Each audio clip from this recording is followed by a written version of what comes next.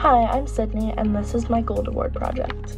For my Gold Award project, I created a school store for Lacey Township Middle School. My project focused on teaching financial literacy skills to students that they can use in their futures. I worked with students at the middle school to empty out and design the room that would become the school store. I held a money earning event where my team taught Girl Scout daisies through cadettes the two financial literacy badges for their level. That money was then used to purchase the startup merchandise for the store. The Student Council has agreed to staff the store one to two days per week so that the students can shop during their lunch period. Throughout my project, I learned about time management and how to manage a team.